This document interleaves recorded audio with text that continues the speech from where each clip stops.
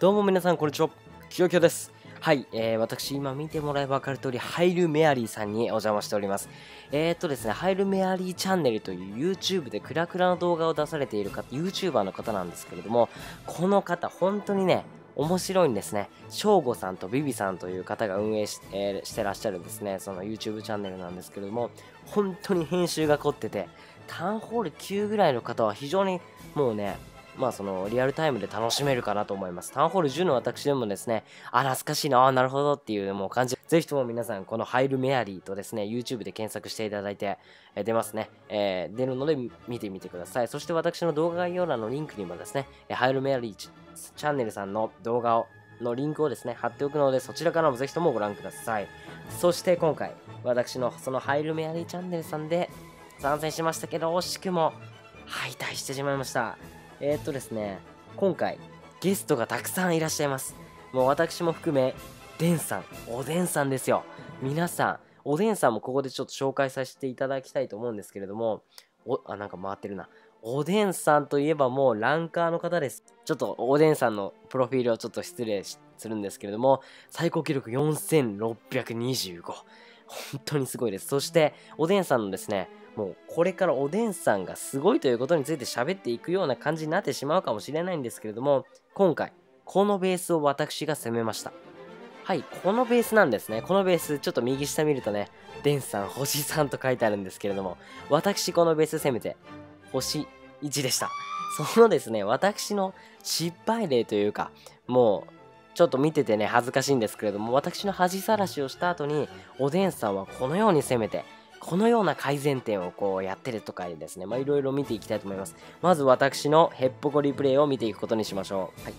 はい、そしてですね、まず最初にゴーレムを、これハイブリッドです。ゴーレムを出していってサイドカットしていくわけですね。そしてウィザード2体でアーチャークイーンと、えーウィザード2体でサイドカットしてきます。ここでドラゴン出てきたの結構予想外だったんですね。まあここはしっかりとポイズンでアーチャーとウィザードを処理していきます。そしてババキンそれそうになったんですけども、ここはリカバリーとしてですね、まあ、リカバリーする必要もなかったかなと思うんですね。最初のバーバリバーリアンキングの初期、初期微動といいますか、それ見る限りちょっとリカバリーする必要もなかったかなと思うんですけれども、このようにジャンプの呪文で中心部に切り込んでいきます。そしてアーチャークイーンの処理、そして対空砲1本の処理、ここでインフェロのタワーも処理したかったんですよ。というか、インフェロのタワー処理しないとやはり厳しいですね。厳しいんですよ。ここで、まず、ロイヤルクローク発動し忘れるという、まずクソポイント1ですね。はい。そして、私、えー、まあ、その、おでんさんの動画であったり、海外の YouTuber さんの動画であったり、トミーさんの動画であったり、いろいろハイブリッド、ね、ちょっと勉強しているつもりなんですけれども、このクソさ。はい。ちょ、皆さん、みん、もう皆さんコメント欄で書くのやめてください。キヨキヨ雑魚すぎ笑った。それだけはやめてください、本当に。もう分かってるんで。もう分かってるんで書かないでください。本当に。本当に。そしてもう、なんかもうよくわかんない感じでね。はい。そして左側のね、インフェルノタワーバリバリ生きてるっていうね。はい。ここで右側のインフェルノは処理できてるんですけども、何のフリーズだっていうね。何のためにフリーズ打ってんですか、キヨキヨさんと。言わんばかりのフリーズの打ち方でございます。はい。そしてですね、こうエアスイーパーで吹かれた結果、インフェルノタワーを破壊することができました。エアスイーパーのおかげで、ターゲットをですね、取り直してくれたんですね。まここでラッキーと思ったんですけれども、対空砲が残りつつという形で、まあ、星1ですね。はい。うん、はい。そうですね。この対空砲にやられましたね、最後は。この対空砲がなくても、もし壊すことができたとしても、時間切れで終わってました。はい。ということで、まあ、こんなリプレイを見ている必要はないんですね。そして、おでんさんのリプレイ見ていきましょう。もうまた、お待たせいたしました。もう早くおでんさんのリプレイ見せろよと。もう、もうですね、本当に、もう皆さん怒ってるのはですね、重々承知でございますけれども。あ、やばい。早速見ていくことにしましょう。まず、おでんさん。星3リプレイなんですけれども、まずはですね、ウィザードを、あれまだ、ここで、ウィザードを先に出すんですよ。で、もう、計算し尽くされてますね。しっかりとサイドカットをしてから、このいいタイミングでの、この大砲にやられない感じのね、いいタイミングで、これちょっとミスったら終わりですからね。さあ、ここでアーチャークイーンが出てきました。ここでももう、えーポイズンで処理していますね、おでんさん。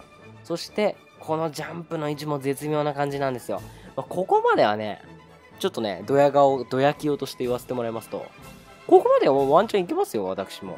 ここでレイジを打つんですね。ヒーロー40と36人、レイジということで、さっさとアーチャークイーンと、えー、対空砲処理、そして、ここからですよ。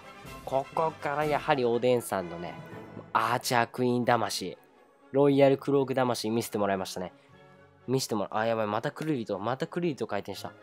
もう、見ましたよ。ここで、ロイヤルクロークからのこのインフェルノタワー破壊。そして今回は左から行きましたね。ラバハウンドを出してから3体ほどバルーンを出して、えー、またラバハウンドを出して、ここで3体目のラバハウンドが出てます。ここね、私ちょっと解説できないです。まだ私、こうね、例えば4面攻めとかの解説とかなら、まあ多分私できるんですけども、ハイブリッドの解説はまだ難しい。そして、えー、残るインフェルノタワーがシングルインフェルノのみなので、しっかりとフリーズで、えー、ラバハウンドが死にそうなタイミングで撃てばですね、これ結構いいですよね。はい。やっぱりしっかりと最初にマルチインフェルノタワー破壊できた、それが本当に大きいかなと思います。さあ、ここで、えー、後処理用のといいますか、後半に残る防衛施設をこのようにバルーン数体残しておいてという形でございます。ここで見てください。このバルーンの、バルーンじゃないわ。このラバパピーの数。このラバパピーの数がすごいですよね。